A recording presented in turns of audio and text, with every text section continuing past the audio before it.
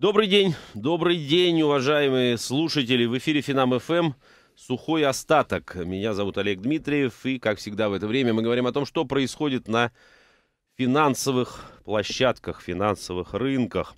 А, сегодня мы выделили в заголовок эфира а, тему, посвященную валютному рынку.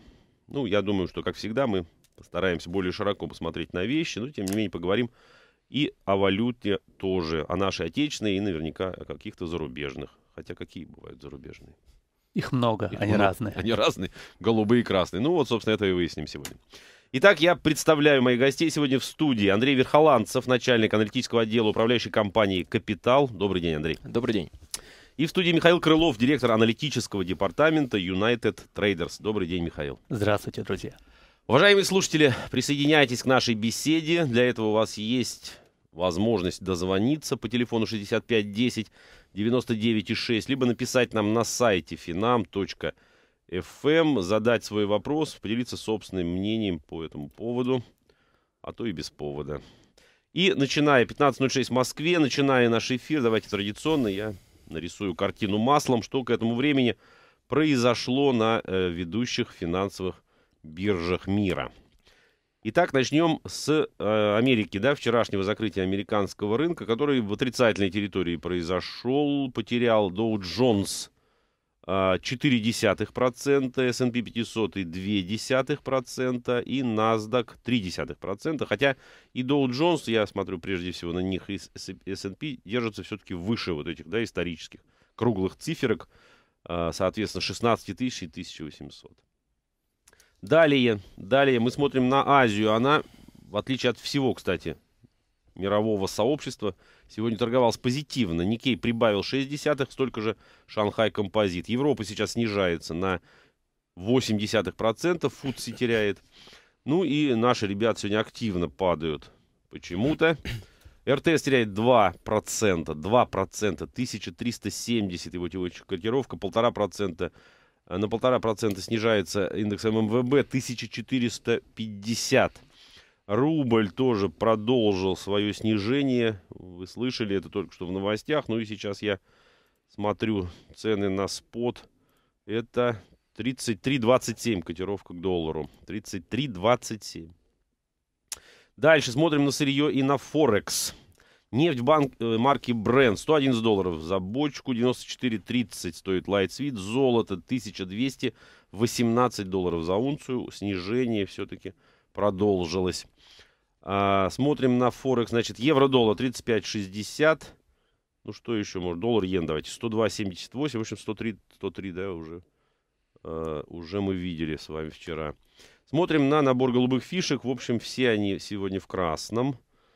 И и дальше можно выделять. Ну, цифры достаточно внушительные. Смотрите. А, значит, снижается сегодня э, НЛМК на 3,5%. 2% теряет ВТБ, 2,5% Аэрофлот. Русгидро чуть больше 2, почти 2, Сбербанк, Северсталь 2,2%. Газпром 2% в МИ, боже мой, а что происходит такое страшное? Роснефть 1,5, 1,8, пардон. Да, не дождались мы рождественского ралли, судя по всему. Так, ну ладно, давайте начнем. Итак, итак, такова картина маслом. В общем, все как-то так не очень радостно. Хотя с точки зрения начавшегося месяца, последнего месяца э, четвертого квартала, последнего месяца, месяца года, все же некие ожидания да, по поводу того, что все будет хорошо, есть. Андрюш, как ты смотришь на рынок сейчас в целом?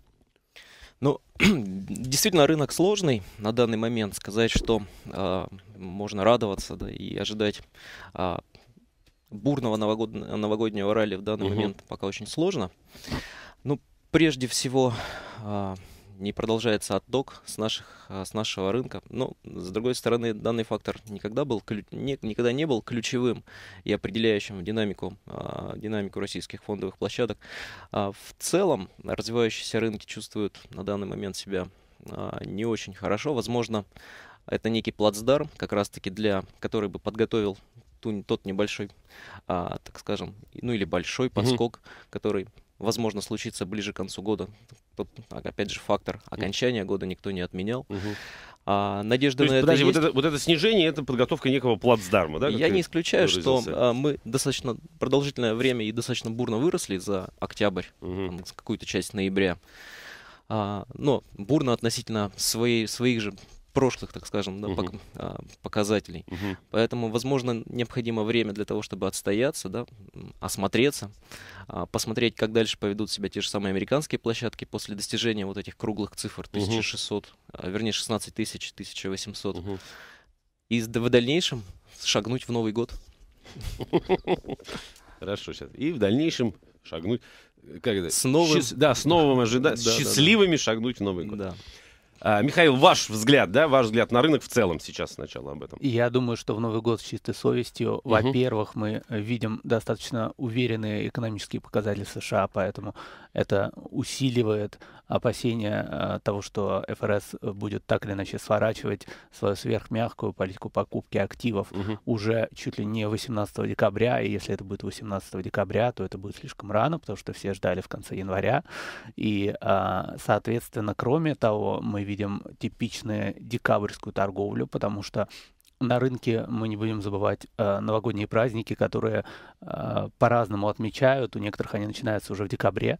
И э, С, пе- совершенно... с первых чисел, да? Да, прямо с первых чисел и э, в разных календарях, э, не будем забывать об этом. Э, Думаю, что э, уже в ближайшее время мы увидим э, продолжение коррекции и, возможно, она будет более жесткой на российском рынке, потому что а, российский рынок традиционно очень сильно смотрит на Запад и очень слабо на Восток. А Мгм. на Востоке сейчас смотреть особо не на что, потому что там снижается иена, и это очень сильно искажает движение японского рынка. Мгм. А что касается китайского, то он топчется на месте, и в значительной мере это фундаментально обусловлено. Мгм. Миша, а если можно уточнить, вот значит, фраза такая прозвучала, что российский рынок смотрит на Запад, да, очень Да, пристально и, я так понимаю, повторяет, да, все-таки какие-то вещи, которые на Западе он видит да, у да. старшего брата. Но, тем не менее, вот в последний какой-то э, временной промежуток э, при росте старшего брата российский рынок не особенно на это смотрел. А вот при падении, конечно, он старается даже. Есть мнение, что российский рынок очень сильно переоценен и э, связано- Переоценен. переоценен, переоценен не по мультипликаторам, Мгм. а переоценен с точки зрения перекупленности, перепроданности, потому что у нас очень сильны технические системы, и э, если брать наиболее ликвидные российские инструменты, такие как фьючи, они Мгм. торгуются по технике, если э, брать э, индивидуальные акции отдельные, то они могут быть обусловлены фундаментом, и очень неплохо в некоторых случаях обусловлены фундаментом. Мгм. Как раз лидеры сегодняшнего снижения это сырьевые компании, у которых по мультипликаторам все намного лучше, чем у западных коллег, у Да. Facebook и Twitter. Но в то же время, если брать именно фундаментальные факторы, а, они хорошие, а вот если брать а, технические, то бывает Мгм. очень сильная перекупленность. Мгм. И а, когда она случается, то наступают резкие движения. И кроме того, все боятся повторения Мечела. Сейчас на рынке такое мечелофобия. Угу. Мечелофобия. Хорошая фраза. То есть, в принципе, да, мы не, не- не говорим конкретно об отрасли, а в целом рынок эта фобия накрыла. Наш да, российский, да, да? это а, именно специфика российского рынка, потому что если взять другие, то они а, меньше движутся и а, меньше движутся вниз. А, кстати, можно сейчас говорить еще и о банкофобии некой на российском рынке? Да, конечно. Мастербанк, банк проектного финансирования, а, банк Смоленский. А, Кто следующий? Да, да, там список уже такой. Да, список достаточно внушительный. Там фигурируют крупные российские банки, даже включая Уралсиб. Мгм. Причем здесь Уралсиб непонятно, но тем не менее а, Уралсиб и э, кто следующий после Уралсиба, а, есть ощущение, что на рынке останутся только Сбербанк и ВТБ по активам. Смотрят же в основном по активам, кто крупнее. И э, я думаю, что там, конечно, будет и ГПБ, и все остальные а, банки крупные, включая Промсвязь, но тем не менее, а, вот есть некая фобия именно а, того, что э, банки разоряются. А Если Мгм. банки разоряются, это плохо для финансового сектора. Безусловно. А, Андрюш, и тем не менее, смотри, если действительно представить, да, что в результате вот последних событий может остаться Сбер и ВТБ, это должно позитивно как-то отражаться на их котировках. Они тоже валятся вместе со всеми. Но, безусловно, есть такое понятие, как настрой, поэтому настрой пока. Да, на- настрой негативный, фобия все-таки превалирует. Спасибо, мы сейчас прервемся, новости на Финам ФМ, потом продолжим. Ну что ж, друзья, продолжаем эфир, сухой остаток на Финам ФМ. Обсуждаем сегодня, как всегда, текущую ситуацию на финансовых площадках и поподробнее, наверное, да, я надеюсь, остановимся на рынках валютных. А, сегодня в студии Андрей Верхоланцев, начальник аналитического отдела управляющей компании «Капитал», и Михаил Крылов, директор аналитического департамента United Traders. Телефон студии 65 10 99 6, код Москвы 495, сайт компании finam.fm. Уважаемые слушатели, можете присоединиться к нашему эфиру, позвонив, написав, задав вопросы и прокомментировав собственную точку зрения. Андрюш, вернемся, собственно, перебил я тебя, уходили на новости. Действительно, вот э, логика может быть, да, такой – что э, это должно быть позитивом да, для наших крупнейших банков, но они, тем не менее, снижаются тоже вместе со всеми. Ну, безусловно, то есть нельзя идти против тренда, который в данный момент господствует на рынке. А, я бы, наверное, еще и согласился с коллегой в том плане, что действительно те сложности, которые мы сейчас э, имеем э, в ликвидности, обусловлены как раз крахом Мастербанка, угу. э, это тоже достаточно сильный фактор, который обуславливает э, текущую негативную динамику на фондовом рынке. Возможно, то есть э, люди выходят э, из а, из наших инструментов пытаются uh-huh. каким-то образом а, увеличить свою ликвидность, uh-huh. и это, это давит на рынок. А, но когда буря рассосется, безусловно, бенефициарами а, этого глобального процесса, затеянного, а, затеянного Центральным банком по расчистке банковской системы, угу. безусловно, станут крупнейшие игроки, поскольку клиенты ну, будут позитивным образом перераспределены среди достаточно понятного круга крупных, крупных банковских учреждений. И, возможно, тогда мы увидим отражение в динамике их котировок. Так что посмотрим. Я думаю, это нормально. Поживем увидим. Я, кстати, по поводу клиентов хотел бы вот у вас наверняка... Ну, вы сами, прежде всего, наверняка клиенты чьи-то. Может быть, бывшие, может быть, настоящие. Я имею в виду банков. А либо у вас есть знакомые, наверняка, ведь вам тоже, да, звонят обычные люди, вот, задают всякие вопросы. Вот сейчас, в принципе, да, человек, который, не дай бог, конечно, да, но тем не менее пострадал вот от этого списка, и Миша говорит, что кто следующий, в принципе, это вполне логично, можно ждать продолжение вот этот человек, он, он станет клиентом банка, даже такого крупного, как Большой и Зеленый? Я думаю, да, миграция клиентов в крупные банки – это а, то, а, что является побочным эффектом нынешнего а, банковского кризиса ага. или микрокризиса, как угодно называть. А, в данном случае, думаю, есть еще один важный бенефициар – это зарубежные банки – зарубежные банки, которые достаточно устойчивы, чтобы остаться здесь, uh-huh. которые не продали, в отличие от э, Societe Generale, э, в отличие от э, подразделений Deutsche Bank, свои э, General российские... Electric, да? Да, uh-huh. General Electric, опять же, естественно, G-Money Bank, и, э, и они остаются на рынке и даже планируют расширяться, как, например, Bank of America. Uh-huh у них прекрасный клиентский сервис, и в то же время у них есть возможность э, подключиться к их системе, пользоваться их банкоматами uh-huh. по всему миру, э, и прекрасный интернет-банкинг, uh-huh. есть э, брокерское обслуживание, и они будут конкурировать с российскими компаниями и с брокерами, uh-huh. кстати, и с банками, не в последнюю очередь. Uh-huh. Несмотря на то, что российские банки, даже Сбербанк, э, в одном ряду э, сложно поставить с ними uh-huh. по количеству активов, по э, качеству активов.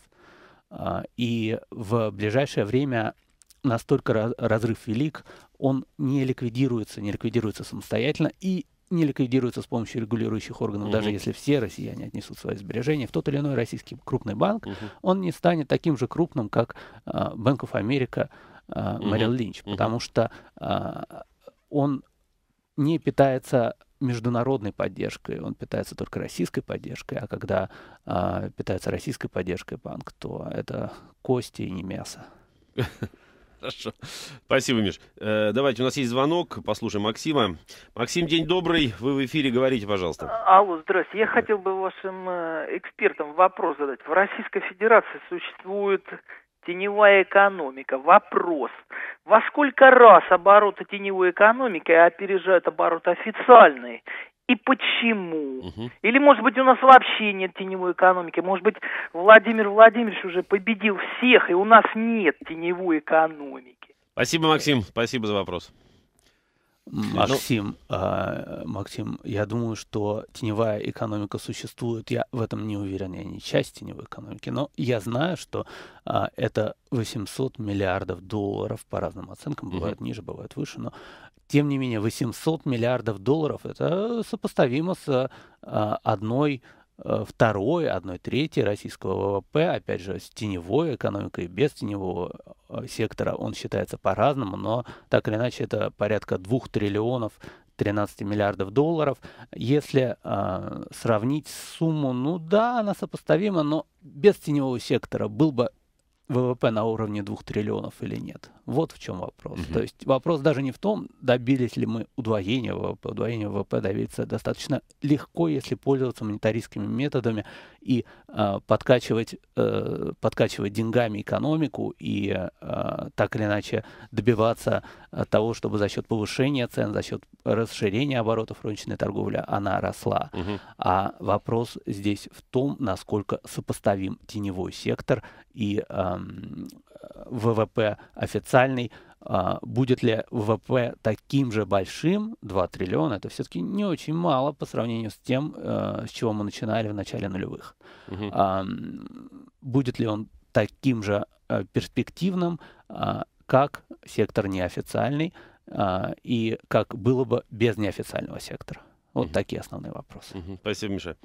Э, Андрюш, добавишь что-то? Да, я, наверное, безусловно, я соглашусь с тем, что от, а, существуют какие-то а, сферы, так скажем, экономики, которые скрыты от лица закона на, на сегодняшний день. Но опять же вспомним, что происходит на а, банковской сцене. Банк России отзывает лицензии не просто так, а мотивирует это тем, что те банки, у которых отзываются лицензии, были замечены или подозреваются в, а, так скажем, в легализации угу. денежных средств. Ну вот То об есть, этой, собственно, теневой экономике. А, собственно, да, да, да. той, которая обслуживает да, интересы, так скажем, а, нелегальных каких-то структур. Угу. Собственно, это один из показателей, количественных измерителей тех так, масштабов, может быть, а, да, той самой теневой экономики, которая в России существует. То есть те суммы, которые проходят через данные банки, ну вот можно вставить в копилочку угу. вот, этой самой теневой экономики. Угу.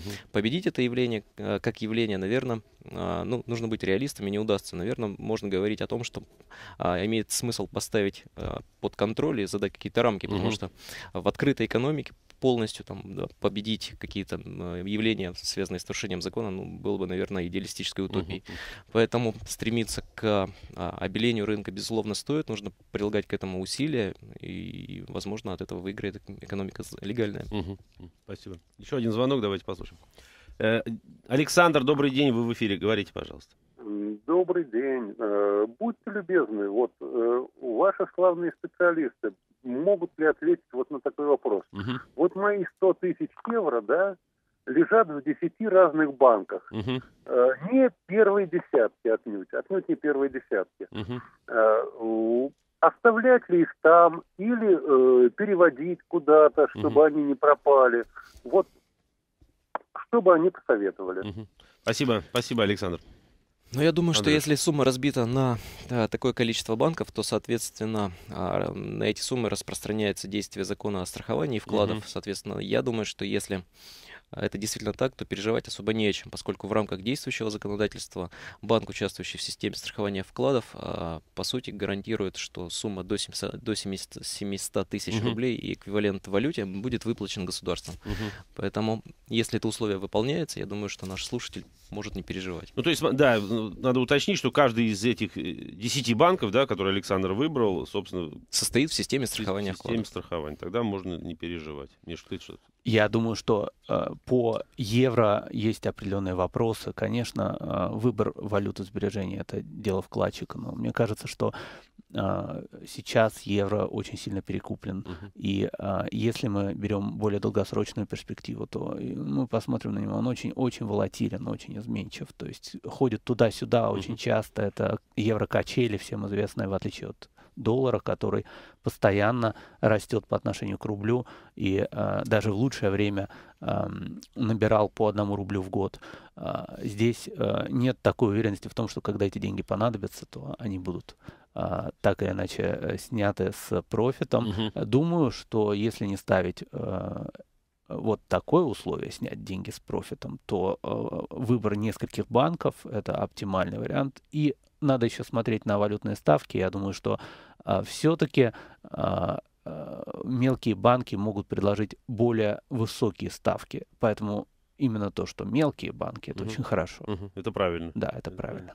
Кстати, в средствах массовой информации где-то я некоторое время назад, ну, когда вот вся эта история с банковскими нашими делами стало а, а, актуально ежедневно, да, где-то я прочел, что а, в недрах Госдумы зреет да, мысль, чтобы э, каким-то образом ограничить. Ну, это, видимо, сейчас я вспомню, значит, сюжет был такой, что э, обсуждался пример, что, что э, значит, вкладчики сознательно несут свои деньги в мелкие банки, именно для того, чтобы, да, каким-то образом Э, ну, то есть вероятность да, проблемы этого банка гораздо выше, соответственно, каким-то образом на этом еще и заработать. Да, конечно, uh-huh. предлагали даже ввести коэффициент, некий поправляющий коэффициент, который uh-huh. будет э, вот эту сумму 700 миллионов, uh-huh. она будет а, неким образом разбита 700 тысяч, 700 тысяч. пардон, рублей, а, она будет неким образом разбита с учетом, с учетом того, что АСВ не может выполнять обязательства перед всеми вообще, uh-huh. даже теми, uh-huh. кто сознательно наживается на АСВ как глобальном кредиторе. Как в случае да. с а, тем же Мастербанком был достаточно хороший, яркий uh-huh. пример. Uh-huh. Ну, то есть это пока разговоры все-таки это еще пока не, не актуально. Нет, да, данные, а, данные инициативы, они периодически возникают и, а, так скажем, подкрепляются а, новыми случаями угу. с, с отзывом лицензии, особенно это имеет какой-то такой масштаб среди вкладчиков. Но я не в курсе, что на сегодняшний день были реализованы вот эти поправки. Угу. Это, скорее всего, дискуссии на тему. Понятно какое-то время еще раз еще пройдет. Хорошо, значит, Александру мы ответили, да, я так понимаю, что вы оба э, занимаете позицию, да, что, собственно, его диверсификация вполне вполне реально. Правда, Миша еще предложил бы все-таки диверсифицировать валюту сохранения. Наверное, я да, предлагаю, депозита. да, диверсифицировать валюту сохранения. Кроме того, я не вижу э, смысла в том, чтобы хранить все деньги в валюте, потому что по нынешним временам валюта очень сильно подтачивается инфляцией, угу. и есть очень высокая вероятность того, что в акциях тоже можно поискать счастье. Угу. В акциях? Да. Я понял. Хорошо, об этом поговорим чуть позже. Сейчас новости, потом продолжим. Итак, продолжаем эфир. Сухой остаток на Финам ФМ. Обсуждаем ситуацию на финансовых рынках. Ну и, собственно, коснулись благодаря нашим звонкам наших слушателей мы темы валютного, э, валютного рынка. Сейчас об этом будем говорить. Еще раз представлю в студии Андрей Верхоланцев, начальник аналитического отдела управляющей компании «Капитал», и Михаил Крылов, директор аналитического департамента United Traders. Телефон студии 65 10 99 6, код Москвы 495, сайт компании finam.fm. Уважаемые слушатели, вы можете с нами связаться. А, ну, вернемся, да, к разговору о диверсификации уже непосредственно валюты сохранения капитала. Меж, ну и э, какие бы рекомендации ты дал, потому что выбор-то невелик особенно у нас тут, да, портфель-то особо так не разобьешь. А, есть тема покупать юани в последнее время. Покупать все юани, все, да, юани. Несмотря на то, что кредитный э, сектор в Китае чрезвычайно раздут, это мешает. Закредитованность частного сектора угу. 13 триллионов юаней. Э, не меньше 500 миллиардов юаней в месяц нового кредитования. Это э, не то чтобы очень болезненно для экономики, но если мы посмотрим, то э, проценты проценты от ВВП, угу. которые сейчас не выплачены китайцами и которые должны китайским банкам, сейчас составляют 12,6% от ВВП. В 2008 году это было 7% всего лишь. К 2018 это будет возможно, 18%. Угу. И, кроме того, непогашенная часть основной суммы а, составляет 207% от ВВП. Это уже не шутки, потому угу. что когда говорят, что госдолг ВВП в Китае один из самых низких среди э, развивающихся активно стран, угу. это около э, трети четверти от ВВП, то 207% непогашенной задолженности, а ведь еще недавно это было только 190%. Угу. И это очень серьезный рост. Это э, не то, что шаг китайской экономики вперед, это скорее шаг ее назад, это шаг к тому, э, к той модели, которую мы видим в США, когда кредитование э, питает розничные продажи, угу. а розничные продажи не хотят есть, потому что э, еще недавно розничные продажи росли на 18% в год. Мгм. А сейчас розничные продажи в Китае растут на 13%. Поэтому, э, выбирая между США, между долларом США и Мгм. китайскими юанями, я по- по-прежнему выбираю доллар США, но я не исключаю, что нынешние а, темпы экономического роста, немножко ожившие до а, 7,8, 7,6% в год, темпы экономического роста Мгм. в Китае, они, э, естественно, дадут некую фору китайскому юаню впереди, и мы можем а, до 10% своих сбережений а, держать в китайских юанях. Мгм. Если брать евро-рубль, я бы не а, предпочитал евро-рублю, потому что или евро-доллару, потому что евро у нас это кросс-курс. Это значит, что если у нас доллар стоит один, а, и, соответственно, один доллар за евро, Мгм. а, то все нормально, еще можно как-то, но а, у нас доллар, а, соответственно, сейчас будет тяжелеть по отношению к евро, и если у нас а, евро а, 1,30 доллара, и у нас есть, э, допустим, курс доллара к рублю Мгм. порядка 30, то у нас будет а, евро просто 40 рублей. Мгм. То есть мы умножаем курс евро-доллара Мгм, на понятно. курс доллара-рубля и получаем курс евро-рубля. Нет смысла держать деньги в евро, я Мгм, считаю. мгм, мгм. И сейчас, Андрюш, извини, я уточню просто, Миш. А вот выбор юаня все-таки, да, в качестве валюты сбережений, он, ну, помимо тех цифр, да, впечатляющих, о которых ты говорил, он еще чем обусловлен? Все-таки я а, с точки зрения обывателя рассуждаю, да, мне должно быть, э, эта валюта на- надежна, эта валюта доходна. Да, естественно, эта валюта надежна, но доходна ли она? Очень много говорили о том, что юань будет конвертируем на территории России.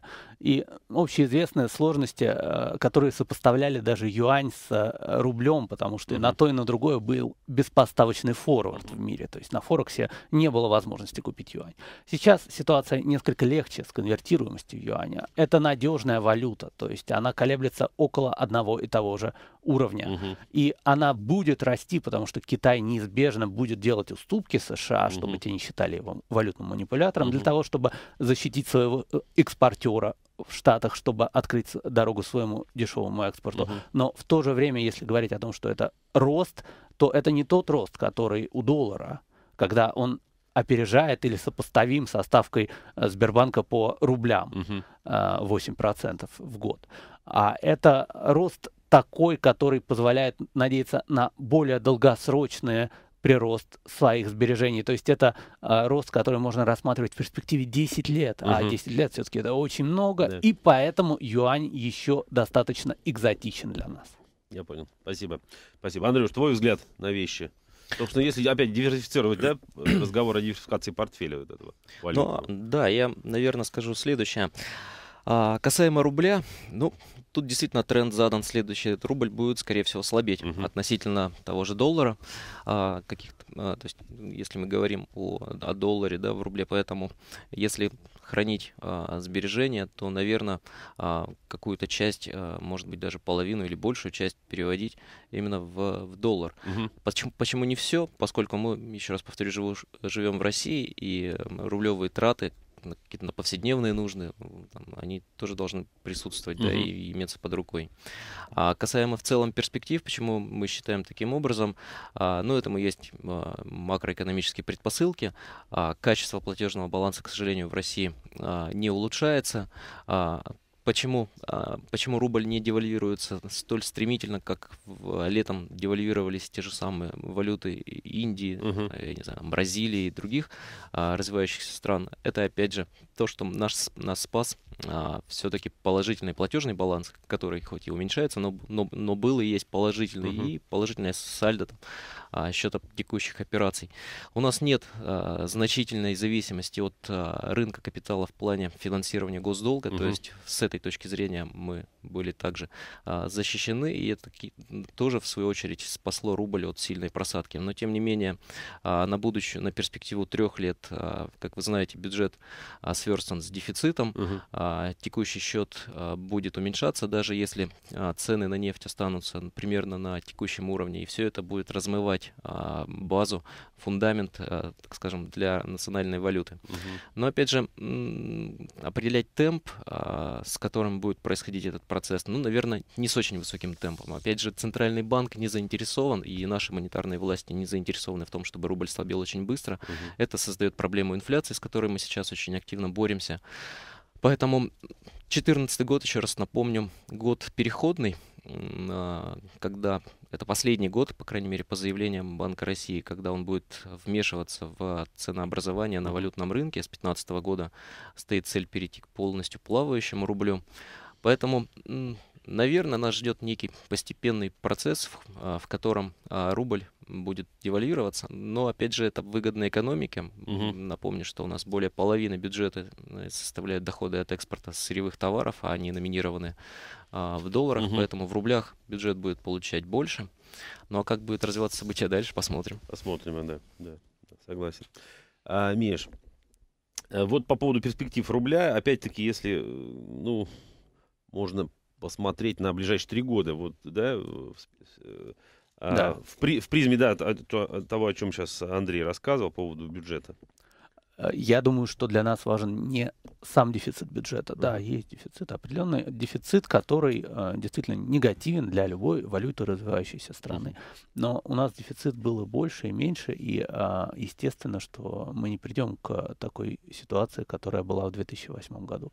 Думаю, что э, для нас важно отклонение дефицита от прогноза. То есть, если есть x, то вот э, если дефицит будет x плюс 1, то один придется допечатать. Угу. Допечатать не в фигуральном смысле сейчас электронные деньги, но а, тем не менее а, вот этот один, он, его нужно откуда-то взять. Угу. И думаю, что в экономике нет резерва, а сейчас уже все меньше резервы в плане приватизации угу. и в плане всего остального. А, с точки зрения цен на нефть не лучшее время, наверное, для того, чтобы говорить о, о том, что э, цена нефть будет расти, и поэтому uh-huh. рубль uh-huh. будет расти. Сейчас такой корреляции уже э, особо и нет. И э, сейчас рубль очень сильно зависит от фондового рынка.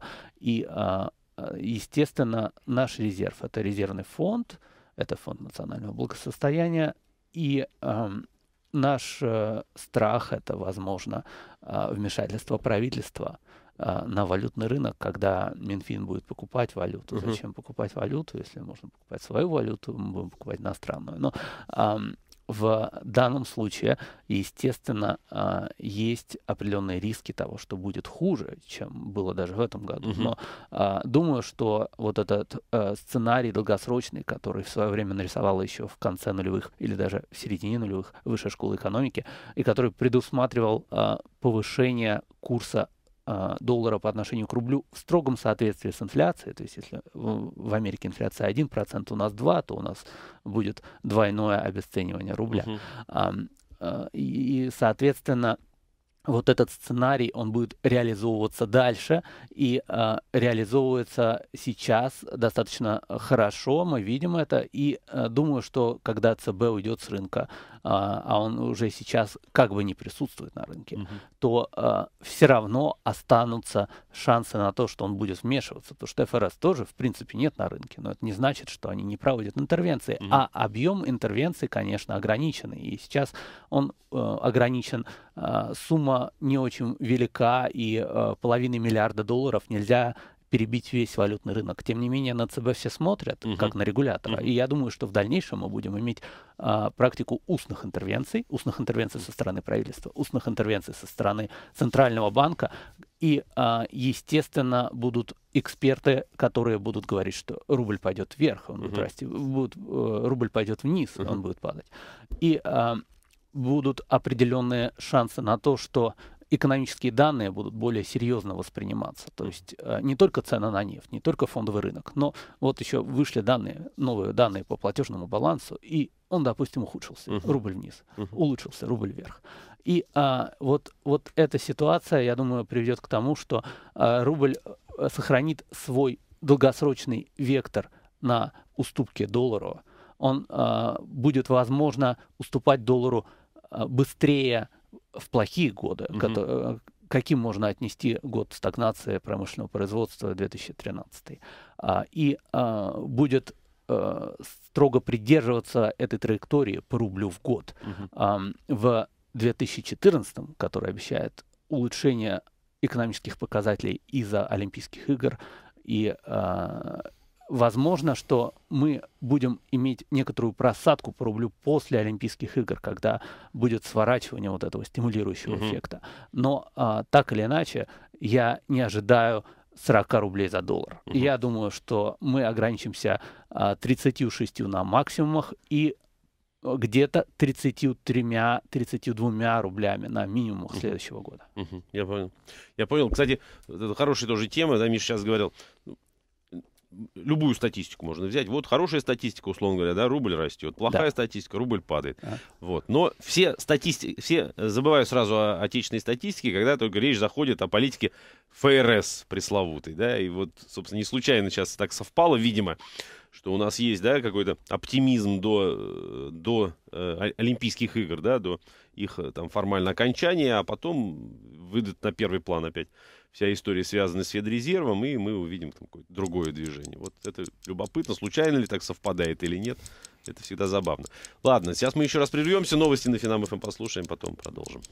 Ну что ж, друзья, продолжаем эфир. Сухой остаток на Финам ФМ. Меня зовут Олег Дмитриев, сегодня в студии. Андрей Верхоланцев, начальник аналитического отдела управляющей компании «Капитал». Михаил Крылов, директор аналитического департамента United Traders а, обсуждаем мы, как всегда, текущую ситуацию. Ну, в общем, рынок валютный и о банках мы заговорили. Удивлены мои гости были тем, что мало активности проявляют наши слушатели, потому что действительно после последних событий, да, или на фоне этих событий, да, все наверняка должны быть озадачены этим вопросом. Что делать? Что делать? Да? Куда, куда бечь? Куда бечь? Ну, Будем считать, что наши, наши слушатели, как минимум, да, люди подкованные, и на этот вопрос могут и самостоятельно ответить, в том числе. Напомню, тем не менее, телефон студии 65 10 99 6, код Москвы 495, сайт компании finam.fm. Эм. Вернемся к разговорам о, валютных, э, о валютном рынке, Миш. Ну, собственно, ты как профессионал, да, э, в этой отрасли наверняка а, наверняка согласишься с тем, что существует все-таки некая глобальная валюта, да, мировая валюта, и а, во многом тенденции, которые в конечном итоге будут э, усилять, да, усилять или ослаблять, слово русское, усилять, усилять, усиливать, давайте так, усили, укреплять, да, и, соответственно, делать более дешевые локальные валюты будут связаны прежде всего с долларом США. И вот мы опять возвращаемся к политике Федрезерва, к возможности сворачивания. Ежели, ежели, ну даже в этом году на заседании Федрезерва 18-12 а, а то, может быть, в январе, как тоже большая часть э, экспертов э, прогнозирует, мы это э, сворачивание увидим. Что происходит с долларом в этом случае? Я думаю, что э, доллар в этом случае будет расти и я знаю, так думаю не только я, так думает весь рынок. Uh-huh. И э, рост доллара это одна из самых надежных инвестиционных идей. Единственное, не стоит забывать, что их стоит хеджировать все-таки покупками каких-то реальных активов uh-huh. или, возможно, какими-то акциями uh-huh. или э, фьючерсами. Просто для того, чтобы, если этого роста доллара не будет, uh-huh. не сильно потерять. И кроме того, э, есть такая вероятность, э, что ФРС а, будет использовать более активно целевой уровень а, краткосрочных ставок а, и целевой уровень безработицы для uh-huh. того, чтобы продолжать смягчение другими методами. А есть же еще и вероятность того, что она изменит арсенал покупаемых бумаг. Uh-huh. И тогда мы увидим продолжение смягчения, но в других секторах. Это значит, что если раньше покупались, например, ипотечные ценные бумаги, казначейские облигации, то теперь эти бумаги, которые, кстати говоря, разогнали строительный сектор США, uh-huh, строительный uh-huh. рынок, до 13% в год цены растут, а, то а, сейчас будет покупаться а, более проблемная отрасль, uh-huh. которая это может быть любая инфраструктура. Ну, то есть я правильно понимаю, мы, мы можем услышать Да. не о сокращении там формально, да, выкупа этих активов, а просто вот э, такая перебалансировка. Теперь мы Да, не берем ипотечные бумаги, а берем вот там какие-то Железные другие. дороги. Железные дороги, например, да, и будем теперь эти 45 миллиардов туда вбухивать ежемесячно. Да. Такое тоже вполне может быть. Такое вполне может быть. Я думаю, что будет небольшое сокращение. То есть это будет э, не 45 или там 85, Мгм. а это будет, допустим, на 5 миллиардов меньше или на 10 миллиардов меньше. Мгм. Потому что Елен, новая глава ФРС, она известна тем, что она сторонница продолжения смягчения, и э, это смягчение Мгм. будет Мгм. теми или иными средствами. Мгм. Я понял. Э, Андрюш, пару слов скажу. У нас есть... Давайте лучше со звонка мы начнем тогда, потому что, кстати, вопрос-то актуальный, о котором мы, собственно, о, о котором мы, который мы обсуждали.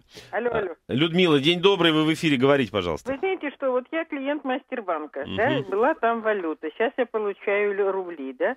Вот, скажите, пожалуйста, вот вы говорите, что зарубежные банки надо положить эти, а мы же, если их заберут лицензию, мы же не будем знать, когда это, что случится. Мгм, мгм, мгм. Давайте так, сейчас, секунду, мы уточним. Людмила, не, не, не, э, не кладите трубку. Спасибо. Да, во-первых, э, собственно, процесс пошел уже, вы свои деньги э, забрали Нет, только Нет еще. завтра я записалась Чет- на получение. 4 числа, да, как было Да. заявлено, завтра вы идете. Да, вот по Сбербанку. Ага, Значит, у вас был там валютный депозит, я так понимаю, да? Да. Вам, вам возвращают их в рублях. В рублях. В ну, рублях говорят, по курсу по вроде бы 20 числа, когда отобрали лицензию. Точно Ага. еще не знаем. Ага. По курсу 20 числа. Да. А сейчас у нас курс по сравнению с 20-м-то повыше будет, да? 32,61 он там был. 32,61, да. Ну, бог с ним, ладно, собственно, не до жиру, что называется. Итак, и вопрос э, резонный, да, и что делать теперь с этим? Да, дело в том, что вот вы говорите, что сейчас будут два этих банка, Сбербанк и ВТБ. ВТБ мы уже играли с ними акции и знаем, что такое результат. Мгм. Покупали по МПО, да? Да, да, было а такое. сейчас вот э, зарубежные банки э, положить, мы, если их заберут лицензию, мы же знать не будем. Мгм, мгм, мгм. Приобретая валюту, я имею в виду. Я понимаю. А вы все-таки вы все-таки смотрите на валютный депозит, да, на валютный? Конечно, потому что рубли уже девальвация, вы сами говорите. И у вас, соответственно, тоже долларовый, да, такой Конечно, предпочтение. Хорошо, Людмила, спасибо за звонок. Сейчас эксперты будут отвечать вам на вопрос. Собственно, вот детали я все выяснил. Миш, давай. Я думаю, что зарубежные банки в ближайшее время, если речь идет о крупных банках, не обанкротятся. Даже JP Morgan, который занимается тем, что надувает финансовые пузыри, а не сдувает их и э, не откачивает финансовая токсичность, а наоборот набирает как можно больше а, разнообразных активов, а, даже JP Morgan не закрыли, не обанкротили, э, никаких проблем с процессингом. Э, И надо учитывать, что до России доходят только самые надежные кредитные Мгм. учреждения. В этом плане у нас есть выбор, у нас есть Райфайзенбанк, у нас есть Bank of America. Э, Они, конечно, занимаются достаточно порочным бизнесом, то есть откачивают деньги из России и э, тратят их на развитие других подразделений. Но а, то, что они откачивают деньги из России, практически целиком гарантирует то, что они здесь будут под надежным прикрытием. И, естественно, а, это прикрытие не замедлит сообщить, когда ухудшение ситуации в Европе и США Мгм, начнется. Следите за макроэкономическими показателями, и я думаю, что будет вам счастье. Кстати, по поводу JP Morgan, это из разряда того, что он слишком большой, чтобы быть обанкроченным. Да, too big to fail. Андрюш, ну смотри, Ну. и, и все-таки смотри, вот юридическая сторона медали. Ну, во-первых, Людмила предположила, если какая-то проблема в зарубежном банке, мы об этом можем и не узнать, потому что, да, центральный банк, я не знаю, там, э, Великобритании или тот же Федрезерв не, не уполномочен сообщать, что, ребята, мы отзываем лицензию там у кого-то. Я сразу с вами не соглашусь, Давай. поскольку все а, по действующему законодательству у нас а, могут работать банки с лицензией Банка России п- А. в виде отдельного юридического лица. Понятно. Поэтому То они есть они сразу же в нашей юрисдикции, Естественно, правильно? то есть у нас не может быть открыт филиал без получения банковской Мгм. лицензии. В этом, э, в этом плане вложение, я не знаю, тот же в Ситибанк, к примеру, или Да. там в Райфайзенбанк, ничем не отличается от э, Вложение в вложений- Сбербанк. Ну, естественно, ничем не отличается. э, Я имею в виду формально, да, Мгм. юридически. По Мгм. качеству, конечно, разница огромна. То есть, а, поэтому, отвечая вот таким образом а, на вопрос нашего слушателя, я бы сказал, что ей, наверное, беспокоиться не о чем. Мгм. А, то есть она будет абсолютно защищена, то есть действующим российским банковским законодательством. И, и- и на самом деле, да, вот это вот страхование вкладов э, точно так же, Безусловно, да? распространяется, и на зарубежные, да? Безусловно. и на зарубежные. Если они участвуют в системе АСВ, а, ну, они, скорее всего, Они, участвуют. скорее всего, участвуют, конечно. И конечно. кроме Дальше. того, надо добавить, что зарубежные банки бывают разные. Бывают те, которые не действуют в России, например, Bank of America э, так или не начал развиваться в России после того, как они закрыли последний банкомат на Тверской. мгм. Но а, они развивают только брокерский бизнес в России. Пока, пока. Но а, надо признать, что в Bank of America есть прекрасная клиентская служба, которая работает абсолютно за бесплатно. То есть там нет никаких комиссий за то, Мгм. что они присылают вам какие-то письма или, Мгм. наоборот, а, вы отправляете туда какие-то переводы, кроме комиссии ш- 6%, кажется, в банкоматах Сбербанка, Мгм. которые есть для, за зачисление денег на чужой счет. А, И в данном случае а, есть выбор между банками, которые работают в России, такими как Райфайзен, Мгм. и ам, банками, которые не работают в России, Bank of America. Можно разделить на две суммы и инвестировать и туда, и туда. И Мгм. я хочу сказать, что за рубежом, например, FDIC дает еще больше гарантий. 250 тысяч долларов Мгм. а, по сравнению с тем, что а, есть у нас. Мгм. Мгм. Ясно, ясно. Хорошо, спасибо. В общем, на вопрос Людмилы, я думаю, мы ответили, да. В общем, главное, успокоили ее, нет никакого различия принципиального, да, Да. с юридической точки зрения. Если что-то, не дай бог, случится, хотя здесь тоже надо подчеркнуть, что вероятность этого го- гораздо меньше, да, все же, если мы говорим об иностранном банке. Да, естественно, потому что они меньше. крупнее. Чтобы, Они крупнее. Что с ними может, да, вот что-нибудь по- подобное случится. Такая вероятность гораздо меньше. Ну, в любом случае, даже если это произойдет, то вы об этом узнаете. Безусловно. как об этом мы, собственно, да, и сказали. Ладно, значит, смотрите, осталось совсем мало времени, поэтому уже, наверное, мы ничего обсудить с вами не успеем. Я, давайте, буду заканчивать. Прежде всего, благодарю моих гостей. Напомню, сегодня в студии Андрей Верхоланцев, начальник аналитического отдела управляющей компании «Капитал», и Михаил Крылов, директор аналитического департамента United Traders. Мы обсуждали текущую ситуацию на финансовых рынках, ну и остановились все-таки на делах валютных, как и было заявлено в названии сегодняшнего эфира. Уважаемые слушатели, вам спасибо за внимание. Не забывайте, что у вас всегда есть возможность присоединиться к нашему эфиру, позвонив по телефону 6510 99 6. Спасибо вам за Спасибо. внимание. Всего хорошего, успехов Спасибо большое. на рынке. До свидания.